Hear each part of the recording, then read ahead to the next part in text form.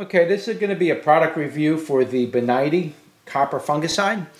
I basically bought this product to deal with the early and late blight this year. I'm really, I've had enough of, of the early and late blight problem. It's just getting worse and worse and worse and worse and worse every year. It's, I, it's just getting to the point where I can't grow tomatoes anymore because of these diseases, and I need to deal with this problem. So normally I don't apply a fungicide to my plants, not even one time. But in this case, I'm, I'm going to, uh, I have already applied this product one time and there's pros and cons to using it, but I already applied it. It seems like it helps. It's hard to say. I mean, it almost, when it comes to early and late blight, it doesn't seem like anything helps you. Uh, you just got to keep applying the product on a regular basis. Make sure you mix it in half doses so it's telling me, you know, mix, uh, I don't know, uh, two, what was it, two, uh, two scoops or whatever it was, two grams or two ounces. Uh, liquid measure, three teaspoons to one ounce, or a dry measure. I, you got to read the instruction. I, I, if it said two teaspoons, I put one. That's basically, I put 1.1 ounces to a gallon of water is what I think I, I did, 1.2 ounces. And I sprayed it down, and for the most part, it didn't really do any damage to my tomato plants. But I had a volunteer on the side that I was growing, and I figured, yeah, let me give the, the, the volunteer was perfect. There was absolutely no blight on it or anything. It was beautiful. It was, I mean, it was doing absolutely great. And I took the sprayer and I sprayed it down really good because I figured it's a volunteer and I don't care if it dies. I just want to see if if it this will do any damage if I soak the hell out of the plant with this. And so I kept spraying it and soaking it really good, and it burned off half of the plant. So you got to be careful with this stuff. It will burn out your your tomato plants when you're dealing with blight. And this, this, I bought this mainly for tomato blight. There might be other diseases that you can use it for and other plants like potatoes and maybe peppers. But I mainly bought this because of the blight that's getting on the tomatoes. Really, that's the only thing you really need to spray out here.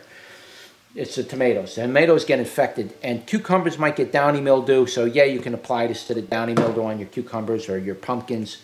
But the tomatoes, no, you have to spray those. There is no other way to deal with it. So this is one of the options I tried. I might try in the future, there's an iron oxide type of antifungal that treats another type of um, uh, like septoria, uh, uh, not another type of fungal disease, but it's another, it's, they say it's more effective and more organic than the copper. So I might try that one next year. I'm going to use some more of this. This year, uh, spray these plants maybe once or twice more. I'm also going to spray my grapevines with it because they're getting uh, rust spots on it. So we'll do that and uh, we'll try this product. Now, I'll give you a closer look at the, the front of it. You can read about what it is. Now, I never used this product before, but I'm going to give you my interpretation and my opinion and what actually the results that I observed from using the product. All right. So that's the front of it. Here's the here's the instructions. I'm not going to show you all the instructions, but it tells you how to mix what and, and how to apply it for each vegetable and each disease. So it's really detailed on it, and I recommend highly that you follow exactly what it is that you're going to treat and how you're going to treat it, and and just go by that. But all that all that information is going to be in, inside this instruction booklet, and you know it's going to open up on the back. You're going to see this information. I'll flip you through one or two pages so you get an idea, you know what you're looking at. All right, that's what that's going to look like. You probably can find this online, but in case you can't, you got it right here just zoom in and, and uh, expand your screen and pause the video as you feel need so you can read. But you can see what it says, you know, when you open them up. You can see it tells you the detail about everything. All right, and I'll show you the color of it. Come on, it's got this child safety cap on it. It's a real pain in the neck. Well, basically, I'm not going to dump it out to show you, but I'll show you what it looks like on a cap. That's the color of it. It's like a blue creamy type of stuff. It's very thick like milk. Okay, just so you know, this isn't a little light liquid. This is pretty powerful stuff. This is a concentrate. Now, I bought this on Amazon, and I read a, a letter. I read a lot of reviews on this, and a lot of people gave it good reviews as far as using the uh, using this for their plants, and they had nothing bad really to say about it, and it seemed to work for everybody. So definitely um, check it out on Amazon. I'll leave links in the description. You can you can pick it up on there. I'll also leave you a couple of links to some other products that I looked at that I might consider as an option. Like I told you, the iron. There's an iron type of fungicide, and there's a there's a couple other that I looked others that I looked at that I'm interested in. So I may end up may be buying those next year as as a review product, and I'll see how it works on my tomatoes. And so I may be trying those again next year, but I'll include those links in the description. You can check them out as well. So like I said, you know, that's what it looked like. So what what are my what's you know what what is my experience? What are the results of actually using this? Well, I just told you I sprayed the one plant and I really doused it really good. Like I sprayed it up and down and soaked that plant with this stuff like you wouldn't believe with the regular mix. And that was way too much and it burned off half the leaves off the plant. But I took that same mix and I went around and sprayed all my, my tomato plants out there with a light spray. If you look at my video, uh, Fusarium versus Verticillium, I believe it was. No, it was um, early blight versus late blight. I'll leave a link for that also in the description. That video, I showed you how I applied it. I'll put that right below the, the main description. You'll see it right before the links to Amazon. So you'll see that link for the for Fusarium versus Verticillium, that video. In that video, you can see how I applied it and how I mixed it. So I applied it to my plants and it didn't burn off any of these plants. If it did do any kind of damage, it was on the lower leaves that were already damaged. Um, what I can say is that it's hard for me to say whether it was really effective or really working or not. And the reason why I say that is that if you watch that video about early blight versus late blight, if you watch that video, you'll hear everything I'm saying in there about how I think the plant's immune system is already fighting it off. So it's hard to say how effective this really was. I didn't really have a major epidemic of early blight or late blight. And it just seems like when late, early blight or late blight or even septoria, because a couple of my plants showed signs of septoria, as soon as I seen it, it just seemed like it stopped in its tracks. So my plants seemed to be fighting it back. Now, I don't know for sure, but it just seemed that way. I, usually when my plants got early blight, within a week my plants are almost stripped down dead. That's how bad it is up here. This year, it's not really doing that. It did get a couple spots on it, and but I added this to it anyway as an extra measure of preventativeness. And I sprayed them really light. I did not soak the leaves or the plants and everything. I just gave it a nice little wackadoo all the way around, and it was more than enough. I mean, I used a gallon's worth on all my container gardens. Let me just loosen you up. You see all my tomatoes outside on my driveway? Okay, I used I used it over there. All right?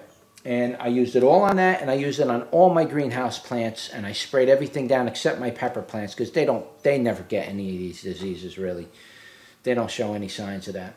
But all that stuff, and I even went into my garden outside because I want to go into my outdoor garden, but they're getting attacked by the early blight, and so I don't even want to go in the garden because of that reason.